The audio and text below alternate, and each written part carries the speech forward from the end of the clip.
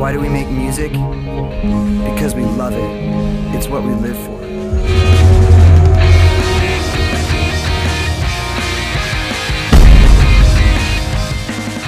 Mayroon pa bang hindi nakakaalam ng awiting ito? Kahit ata hindi mahilig sa tugtugang new metal ay hindi may iwasang hindi humanga sa awiting ito. Isa lang ang in the end sa napakaraming sumikat na kanta ng Linkin Park. Isang bandang may bokalistang nagtataglay ng napakataas na boses. Yung tipong kahit sumisigaw na eh parang kay sarap pa rin sa tainga. Hindi maitatanggi na isa na si Chester Bennington sa mga nasa itaas ng listahan ng mga pinakasikat at pinakamagaling na bokalista sa kanyang era. Pero paano nga bang nangyari na ang isa sa pinakasuccessful na taong katulad niya ay may mabigat palang dinadala na ang mga lyrics ng iba pa nilang kantang katulad ng Crawling, Numb, One Step Closer, at iba pa ay hango pala sa madilim na bahagi ng kanyang kasaysayan na tila ba hindi niya nagawang mabura sa kanyang isipan. Halika mga idol at ating mas kilalanin si Chester Bennington. Alamin natin ang mapait na kwento ng kanyang kabataan na siguradong kikirot sa puso ng kahit sinong tagahanga na sa kanya ay labis na humahanga at nangungulila. Saan nga ba hinuhugot ang kanyang napakatinding emosyon sa pagkanta at pagsusulat ng mga awitin. Pag-usapan nating lahat yan pagkatapos ng ating intro. Maraming salamat mga idol! Welcome to another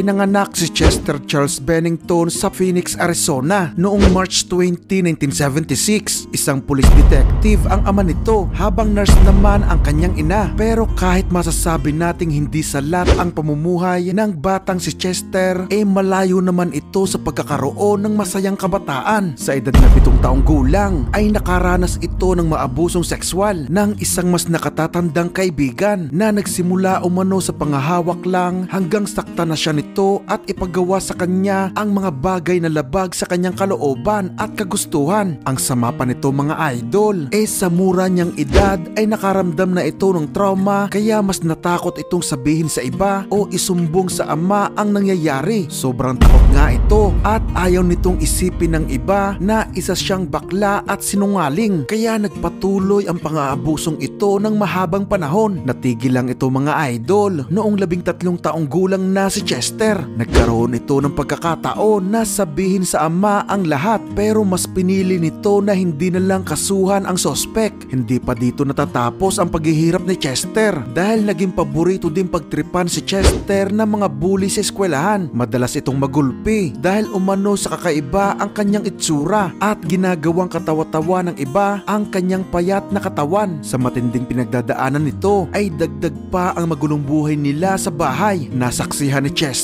ang unti-unting pagkasira ng kanyang pamilya na nauwi nga sa paghihiwalay ng kanyang mga magulang sa edad na labing isang taong gulang ni Chester. Nakuha ng kanyang ama na laging nasa trabaho ang kustodiya kay Chester kaya hindi na nito napapansin ang noon ay durug na durug na puso at mahirap na pinagdadaanan ng binatilyo. Sa murang edad ay napunta nga ito sa madilim na sitwasyon na hindi nito kayang pagkasyahin sa napakabata pa niyang isipan. Naapektuhan nito ang personalidad ni Chester mga idol. Nagkaroon ito ng bayolenteng kaisipan na gusto nitong paslangin na lang lahat ang mga taong nagdudulot sa kanya ng sakit at kalungkutan. Pero natuto na lang itong sumandal sa kanyang ballpen at notebook kung saan niya ay ginuguhit, isinusulat at inilalabas ang kanyang sama ng loob na kalaunan ay naging mga awitin nga sa kanyang banda sa hinaharap na Linkin Park. Kahit kasi ganun ang buhay niya mga idol ay naging mapagmahal naman ito sa musika. Naging tagahanga ito ng Depeche Mode at pinangarap ding maging bokalista ng bandang Stone Temple Pilots. Naging takbuhan nito ang musika at nakakalungkot man mga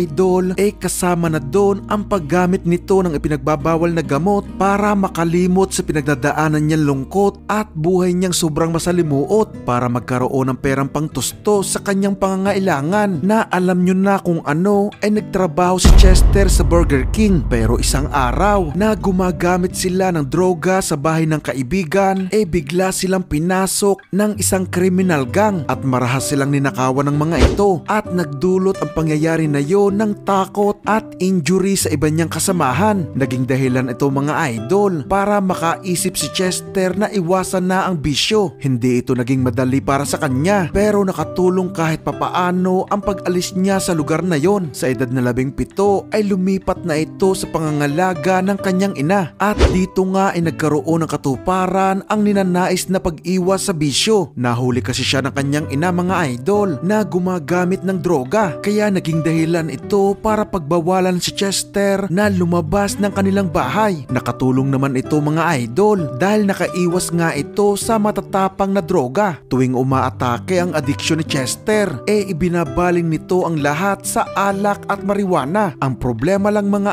idol ay nalulung din siya sa mga ito. Sa kabila ng lahat ay isang bagay naman ang hindi nawala sa kanya. Ang pangarap na maging rockstar mula pagkabata. Naging bukalista ito ng bandang Sian Dowdell and his friends at noong mabuwag ito noong 1993 ay bumuo naman sila ng bagong banda na tinawag namang Grey Days at nagawa nga ng mga itong magkaroon ng pangalan sa kanilang lugar. Noong October 31, 1996 sa edad na labing siyam ay ikinasal si Chester kay Samantha Marie Olit at nagkaroon ang mga ito ng isang anak. Sa mga panahong yon mga idol ay nagkakaroon na din ng hindi pagkakaunawaan sa pagitan ng mga miyembro ng banda nitong Grey Days na naging dahilan nga mga idol sa pag-alis ni Chester dito noong 1998 sa kawalan ng pag-asa at disappointment sa nangyaring kabiguan sa pagbabanda. Ay handa na sanang bitawan ni Chester ang kanyang pangarap. Pero isang tawag mula sa A&R ng Zomba Music na si Jeff Blue ang nagbigay ng bagong simula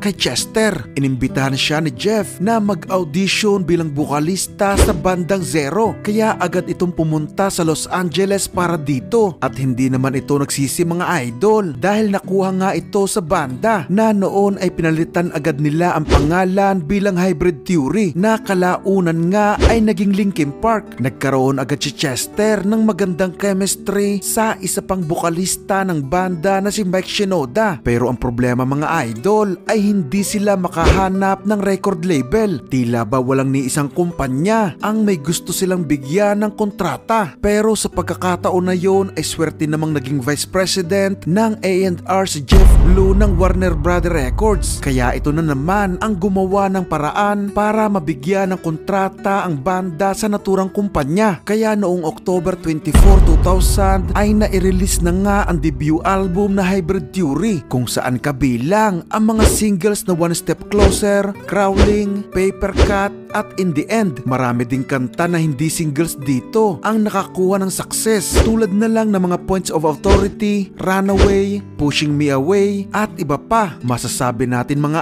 idol na unang album pa lang ay pwede mo na silang ibilang agad sa mga pinakasikat na banda sa bagong era ng taong 2000. Pumalo lang ito mga idol sa number 2 sa Billboard 200 pero bumenta naman ito ng 32 million copies sa buong mundo na nabreak pa nga ang 30 million copies ng Appetite for Destruction ng Guns N' Roses sa itinuturing na pinakamalaking benta ng debut album na certified ito sa US bilang 12 times platinum o diamond album. Maririnig sa lyrics ng mga awitin dito mga idol ang madilim na mga pinagdaanan ni Chester mula pagkabata na mararamdaman mo talaga dahil na rin sa nakakahangang delivery ni Chester. Ramdam na ramdam mo ito sa kanyang mga sigaw at magandang tandem nito sa rap skills ni Mike Shinoda. Nasa kasagsagan noon ng sobrang kasikatan ang Linkin Park lalo na at successful muli ang sumunod na album na Meteora noong March 25, 2003 pero kasabay ng sobrang katanyagan ay ang masakit na namang pangyayari na makakaapekto muli ng malaki kay Chester dahil habang umaani ng tagumpay ang banda ay nagsimula namang masira ang pagsasama nila ng kanyang asawa na si Samantha Marie. Malaking pera ang nawala sa kanya dito. At ang masama pa mga idol, dahil na naman sa matinding kalungkutan ay naging takbuhan na naman ito ang pag-inom ng maraming alak. Natuloy ang divorce ng dalawa noong 2005 at sa taon ding yun mga idol ay naging busy ang mga miyembro ng Linkin Park sa kani-kanilang solo project kaya binuo ni Chester dito ang bandang Dead by Sunrise. Nakapaglabas sila ng album dito noong October 13, 2009. Samantala noong 2006 ay muling ikinasal si Chester sa dating Playboy model na si Talinda Ann Bentley at biniyayaan ang mga ito ng tatlong anak. Dumaan din sa kakaibang problema ang mag-asawa dahil nagkaroon sila ng matinding cyber stalker. Nagpapadala ito ng mga nakakabahalang emails at nagagawa din itong pasukin ang ilang online accounts ng mag-asawa. Kalaunan ay napag-alaman ng mga investigador na ang computer na ginagamit sa pag stalk sa mag-asawa ay nagmula sa isang high security nuclear research facility na Sandia National Laboratories, isang 27 taong gulang na babaeng employee ng naturang pasilidad ang salarin at sobrang obsessed ito para makita ng personal si Chester. Dinakip ito ng mga autoridad at nakulong ito ng dalawang taon sa kanyang ginawa. Samantala ay nagkaroon naman ng magandang pagkakaibigan sa pagitan ni Chester at Chris Cornell noong mid-2000s. Mas pinatatag pa ito noong ilang beses na mag-perform ang dalawa ng magkasama at kinuha pa ngang ninong si Chester ng anak ni Chris. Sa panahon ding yon mga idol matapos ma-release ng Linkin Park ang panglimang album na Living Things noong 2012 ay nagkaroon ng pagkakataon si Chester na tuparin ang isa niyang pangarap mula pagkabata na maging bukalista ng bandang Stone Temple Pilots. Nirecruit ng naturang banda si Chester bilang kapalit ng kanilang umalis na bukalista noong May 2013. Sumali naman ito at naging opisyal ngang bagong bukalista ng Stone Temple Pilots at nakasama siya ng mga ito sa extended play na inirelease ng banda na High Rise noong October 8, 2013. Tumagal pa dito si Chester at pilit na pinagsabay pati obligasyon niya sa Linkin Park. Katunayan mga